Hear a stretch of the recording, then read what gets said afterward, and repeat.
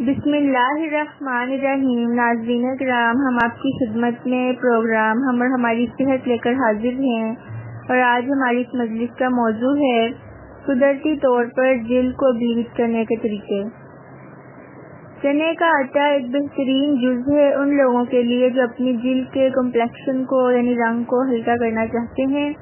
اس میں موجود مختلف اجزاء جلد کو صحت مند رکھنے میں مددگار ہیں۔ اس نسخے کو روزانہ استعمال کرنے سے جلد میں آئل کی زیادہ مقدار ختم ہو جائے گی اور جلد کو قدرتی طور پر نمی ملے گی۔ چنے کا آٹا لے کر اس میں پانی یا گلاب کا عرق ڈال کر سخت سا پیسٹ بنا لیں اور چہرے اور ہاتھوں پر لگائیں اور خشک ہونے پر دھو لیں۔ شہد جلد کو بلیچ کرنے میں مددگار ہے اور بطور نم کرنے والے ایجنٹ کے کام کرتا ہے۔ شہد داخل بیکٹیریا خصوصیات بھی رکھتا ہے جو کہ ایڈ اسپورٹس اور کیڑ محاسے اور ان کے داغ دور کرتا ہے۔ شہد لے کر اسے منہ پر لگائیں، کچھ تیل لگا رہنے کے بعد منہ نیم گرم پانی سے دھو لیں۔ یہ سادہ سا نسخہ مردہ سیلز کو ختم کرتا ہے اور جلد کو زیادہ تازہ اور خوبصورت بناتا ہے۔ جلد کو ہلکا کرنے والا ماسک بنانے کے لیے ایک چمچ شہد اور ایک چمچ نیمو کا رس، ایک چمچ پاؤڈر دودھ اور آدھا چمچ بادام کا تیل ڈال کر اچھی طرح مکس کر لیں اور اسے جلد پر لگائیں۔ دس سے پندرہ منٹ تک لگا رہنے دیں، اس کے بعد ٹھنڈے پانی سے منہ دھو لیں، روزانہ کریں۔ لیمو کی تیزابی خصوصیات کی وجہ سے یہ بطور قدرتی بلیچنگ ایجنٹ کے کام کرتا ہے اور اس میں موجود وٹامن سی کی وافر مقدار نئے سیلز کی نشو نما کرتی ہے۔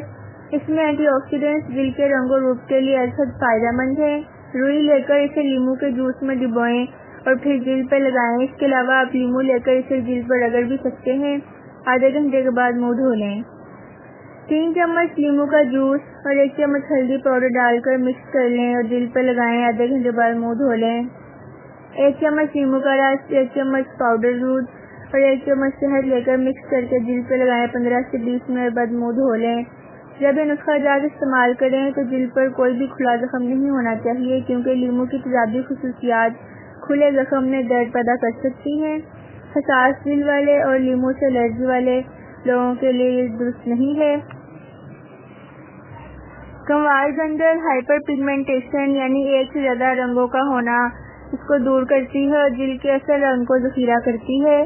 ہائپر پیگمنٹیشن اسکن ٹون کی بہتر بی کی وجہ ہے۔ کموار گندر کے ٹھنڈے اثرات نئے سائز بنانے میں مددگار ہے اور خراب ٹیشوز کو مرمت کرتا ہے، جو کہ صحت مند جلد کے لیے ضروری ہے۔ اس کے لیے کموار گندل کی اوپر والی طے کاٹ دیں اور اس میں سے جیلی کی طرح کا مرکب نکلے گا اسے جلد پر لگائیں۔ تیس منٹ کے بعد اتار دیں، پانی سے دھو لیں۔ دو ہفتے تک روزانہ دن میں دو بار کریں۔ اگر آپ کے پاس کوار گندل کا پودا نہیں ہے، تو اس کی جیل مارکیٹ سے خریدی جا سکتی ہے۔ پپیتا باقاعدگی سے مختلف بیوٹی ٹریٹمنٹس میں استعمال ہوتا ہے اور جیل کے رنگ و روپ کو برقرار رکھنے کے لیے بھی استعمال کیا جاتا ہے۔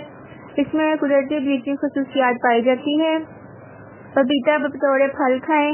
اس کی عام کلینزنگ یعنی صاف کرنے والی خصوصیات جلد کی لودگی کو صاف کر دیں گی۔ پپیتے کا گدا جل پر رگڑیں اور پھر اس کو خشک ہونے دیں، اس کے بعد منہ دھو لیں۔ یہ جل کو ایک نیا گلو دے گا۔ ایک پکے ہوئے پپیتے کو میش کریں، پھر اس میں ایک کپ تازہ لیمو کا جوس ڈالیں اور پورے چہرے پر مساج کریں، تیس منٹ بعد دھو لیں۔ ہلدی اکثر اسکن ٹون کو بہتر بنانے کے لیے استعمال کی جاتی ہے۔ ہلدی اینٹی سیپٹک اور اینٹی آکسیڈینٹ خصوصیات رکھتی ہے، جو کہ پوری جلد کے لیے فائدہ مند ہے۔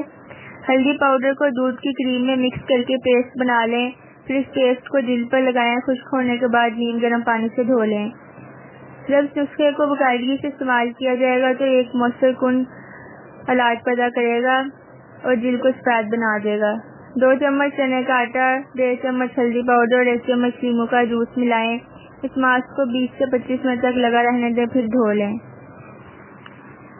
یہ تمام نسخہ جات دل کو قدرتی طور پر بلیچ کرنے کے لیے بے حد فائدہ مند ہے۔ اب تک کے لیے اتنا ہی آئندہ آپ کی خدمت